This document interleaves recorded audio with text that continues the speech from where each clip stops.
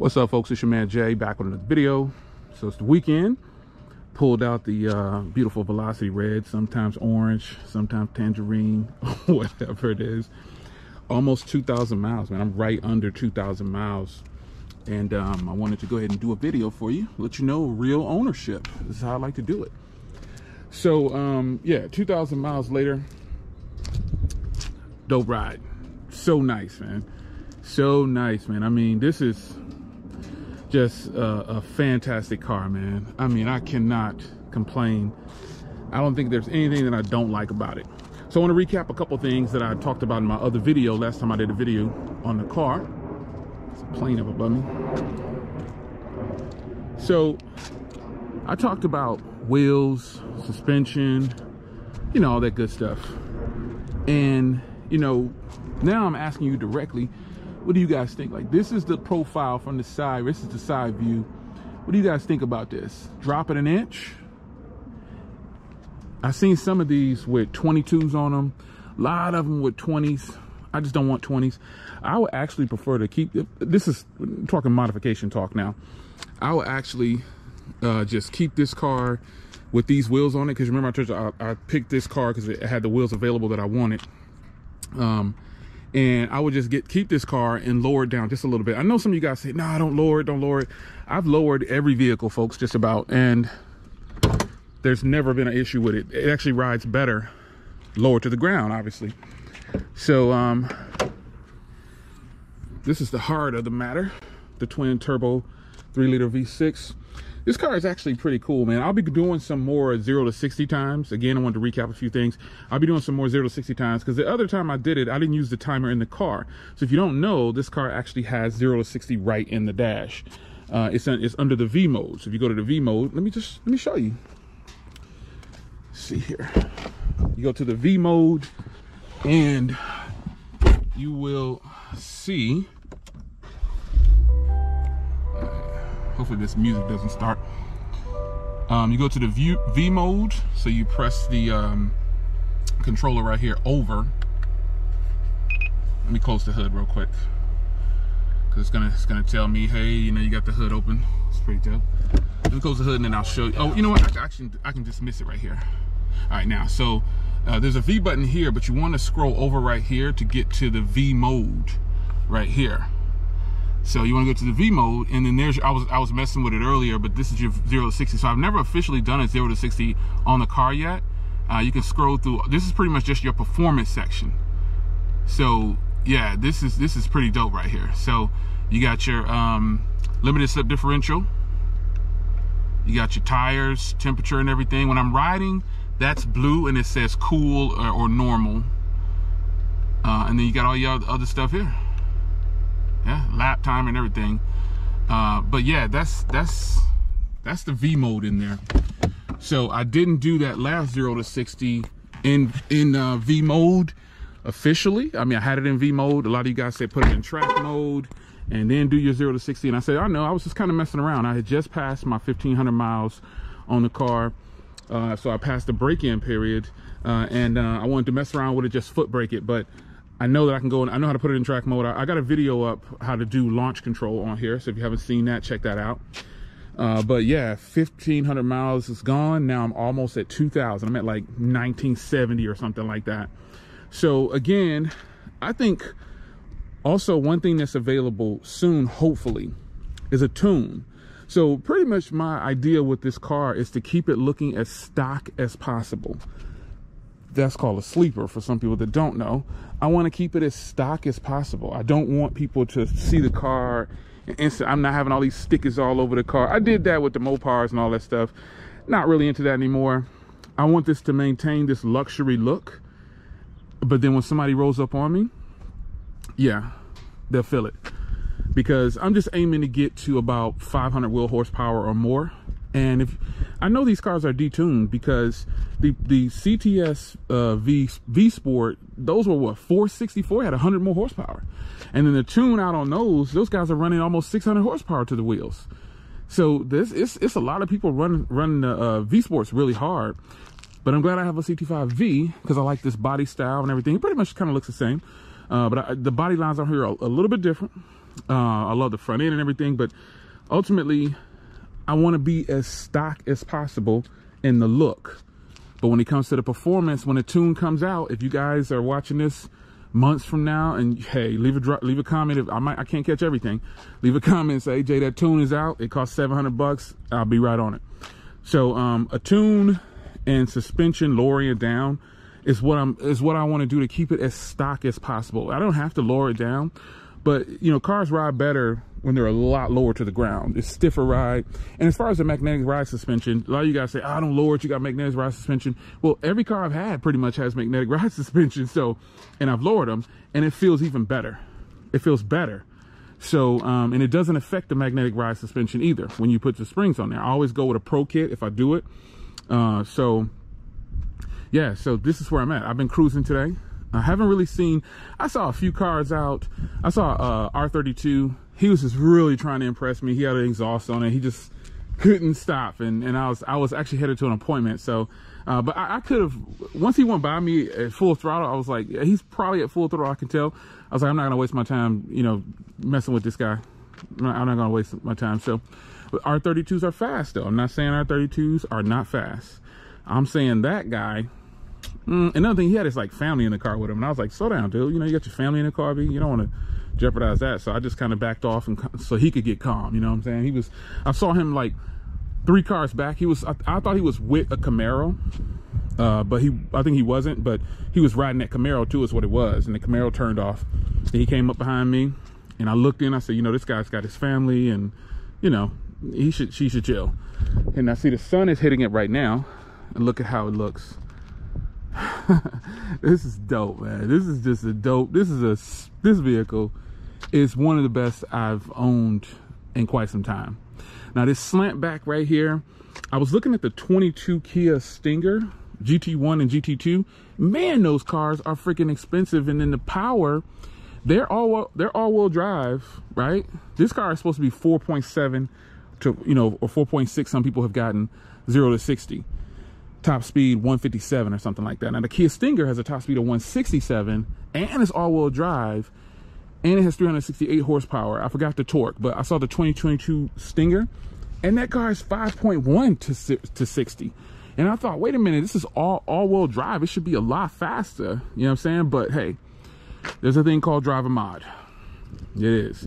So 2,000 miles later, I'm at about 60% on my oil.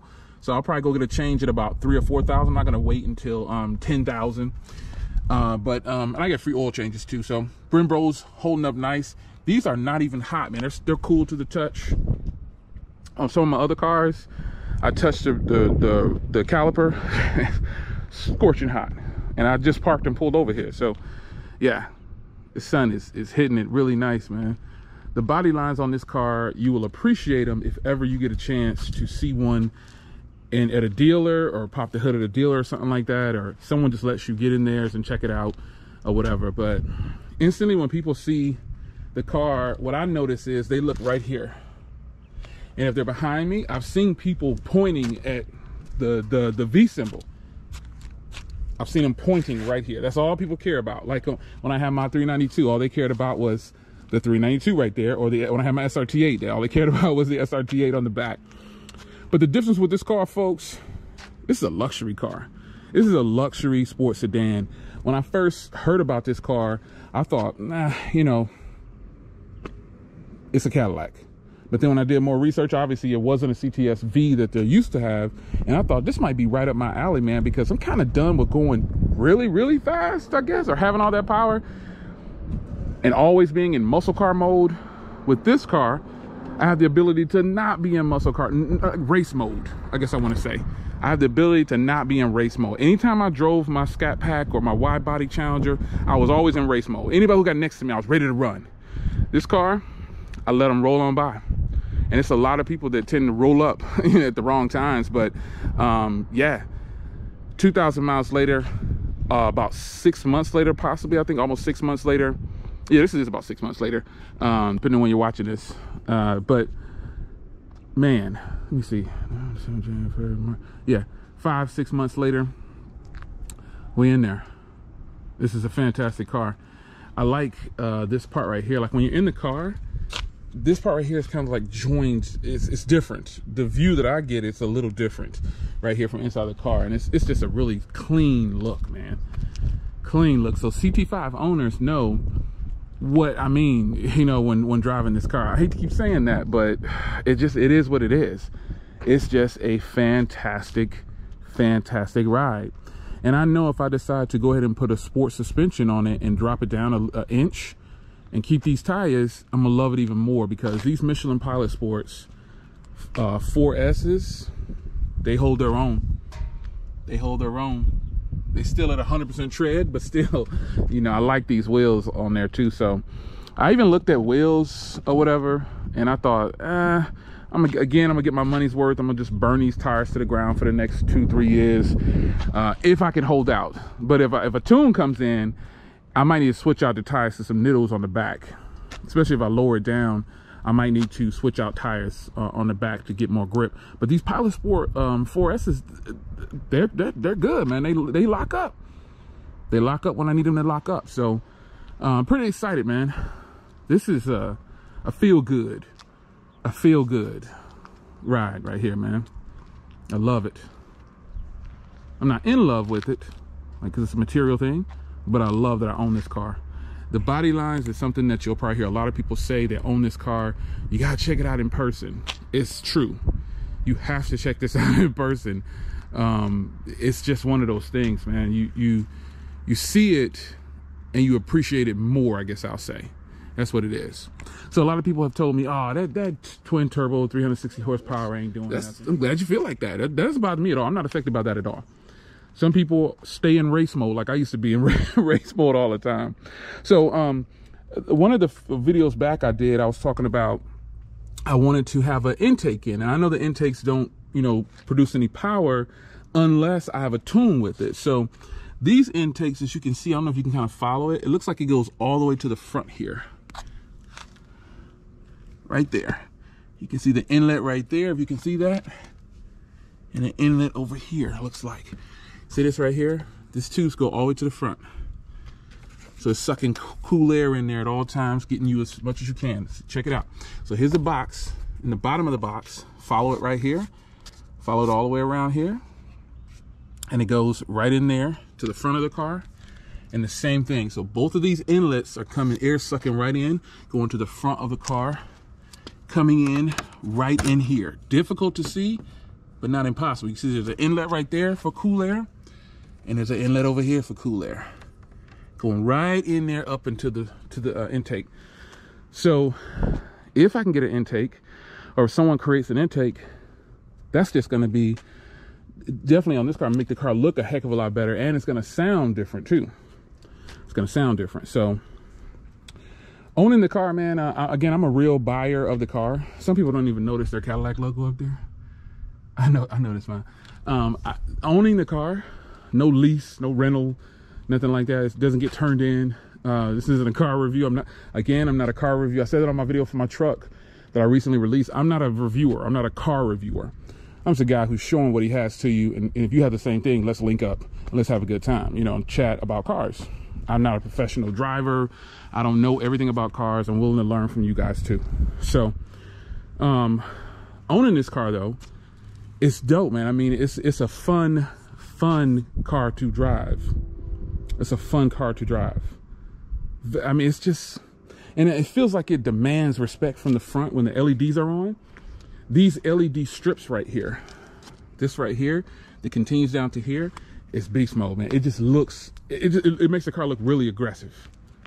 Now on the CT5 uh, V Blackwing, those are a little bit wider and you also get different ducts right here in the front. And, and, and it just looks even more aggressive. But the only thing I'm hoping for in 2021, hopefully before the end of the year, someone gets out there. I saw a site that says they're working on a tune for it, but it just haven't cracked it yet.